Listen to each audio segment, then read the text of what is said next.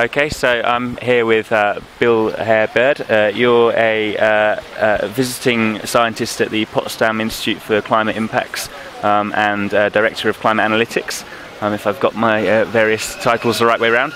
Um, and I'm just wondering if we could ask you a couple of questions about the kind of 1.5 degrees target and versus the 2 degrees target. Um, first of all, I know that you're advising some of the small island states here.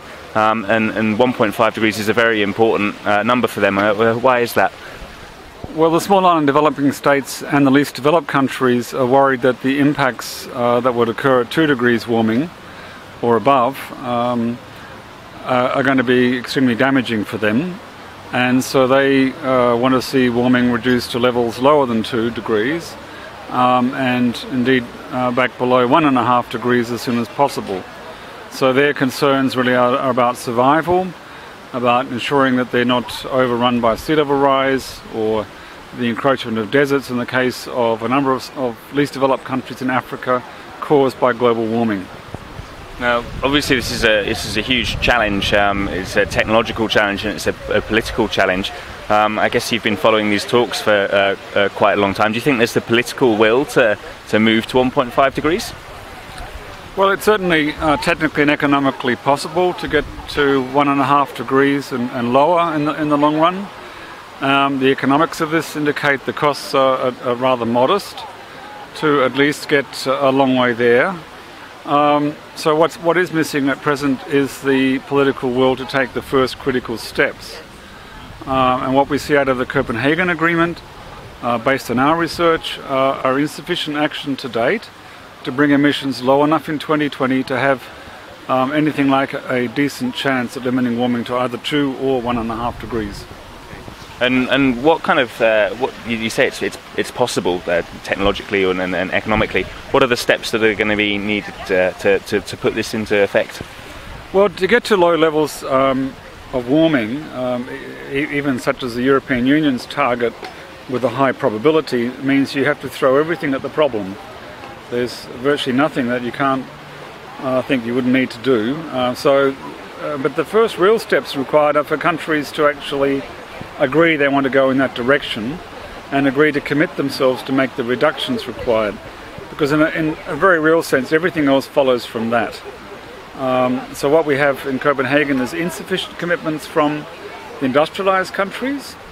Um, here we needed something like 25 to 40 percent reductions by 2020 from the industrialized countries. They committed to, um, you know, barely 10 to 12 percent actually in real terms.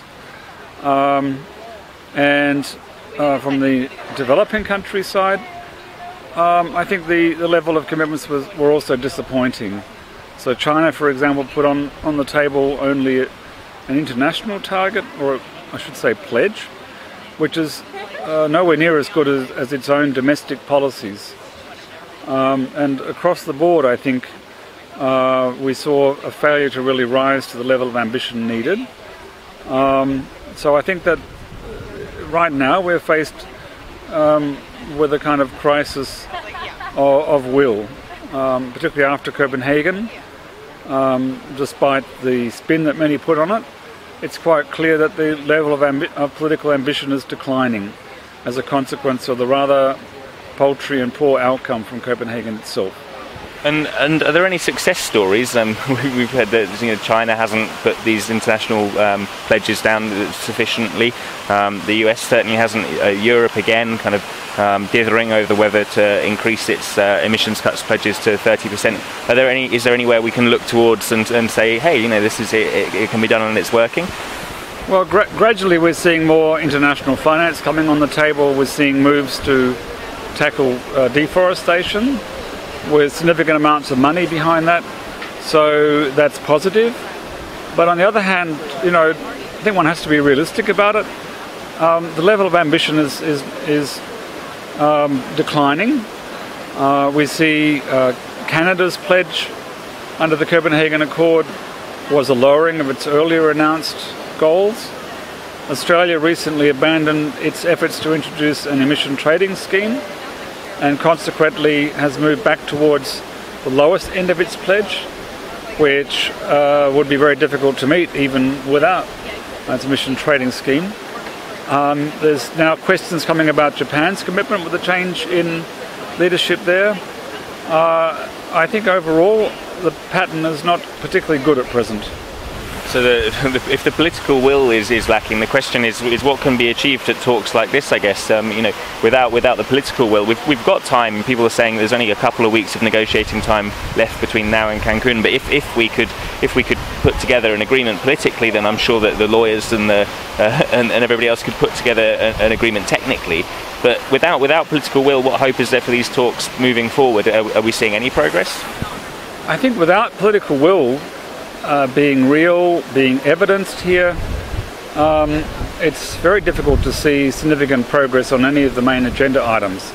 There's certainly a much better spirit here, um, a much better sense of cooperation uh, than we saw, but there's a risk that that's just because there's nothing at stake. Um, and I think what we're seeing, as soon as we get to anything really serious, we're seeing uh, blocking happening. I think there's a sense also of common purpose lacking here.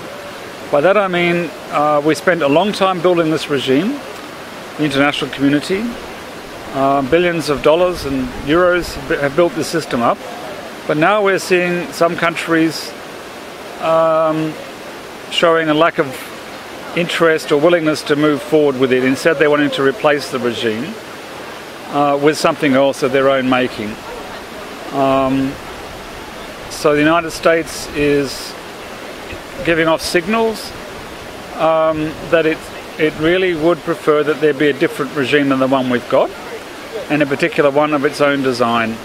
And there are other parties also giving mixed si- si- signals. So in the past, the parties, whatever their differences, have been united around the common purpose of building the regime.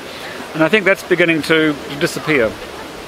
And, and, do you think there's a, a risk of the uh, the process collapsing as a result of this um, lack of engagement? You know, Ivo Boer's been consistent in saying that it needs to be you need to maintain this. Um, consensus-based decision making and, and but actually uh, if, if it gets to the end of this week for example and the negotiating text that comes out from, from the chair isn't acceptable to all parties or we get more blocking throughout up and up until Cancun is there a risk that the talks might get taken elsewhere into into a kind of a less open um, uh, venue, or, or is, you know, are we going to continue to um, with the current pattern? I think there's a serious risk that the um, climate regime will fragment into many disconnected pieces. Um, and I, I, think that that risk is, is not receding. Um, in, in, many ways, it's, it's growing. Um, and I think this year could be the year where we see that that this is decided. I think if we get to Cancun without being able to agree on a package of issues to go forward, um, then the pressure on governments to be seen to do something, anything, will lead them, for good or bad reason, to start to do things elsewhere. Um, and of course, if countries are, are not helping to do things within the system deliberately, um, then that will only contribute to the regime fragmentation. It's quite a sobering message, I think, in terms of the, the governance of, of this process, and yet quite an optimistic message in terms of the, the potential and the, the, hope, you know, the fact that we can achieve a 1.5 degree uh, target, and, and is, this is possible economically, technologically. So I guess it's a case of uh, trying to mobilise people for, to, to build the political will. I think that's correct. I mean, the technological economic optimism can't survive too long in the face of political realities that don't change. And you know, unfortunately, we're in the position now that the, the, the, physics of the climate system and the history of the emissions that we put in the air mean that we appear to have a relatively narrow window now of, of taking action um, that would be feasibly able to limit warming to even two degrees, let alone one and a half degrees. If we don't really get our act together um, within the next decade, then um, unless there's some new miracle economic technology out there, uh, then I'm afraid um, it will become impossible to limit warming to low levels. So maybe just, just to finish then, how, do, how does uh, that relate to Ivo de Boer's comment in his, his press conference yesterday saying he can't see sufficient mitigation um, targets being hit in the next decade and, and, yet then he followed that up by saying, you know, I think we'll solve it by, by 2050. If, if there's this uh, narrow window, how, how, how do you, what's your response to that? Well, um, maybe Ivo knows something about the technology that I don't, but I, based on what we're seeing, the window is very, very narrow. And you'd have to believe that politicians are prepared to go after 2020 three or four times faster than they're prepared to go now in order to believe it. That's a sobering assessment. Okay, Bill, thanks very much for joining us, and uh, hopefully we'll see you later in the week.